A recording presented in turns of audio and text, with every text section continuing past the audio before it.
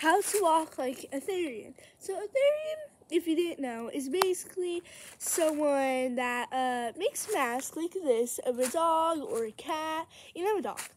Anyways, so and also they like walk around like dogs and cats. So I'm gonna show you how to do that.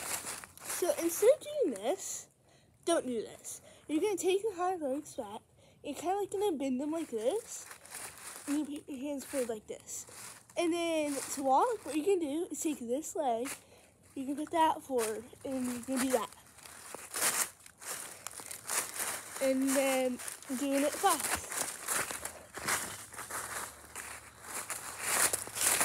And that's how you walk. Bye. Have a good day. Like.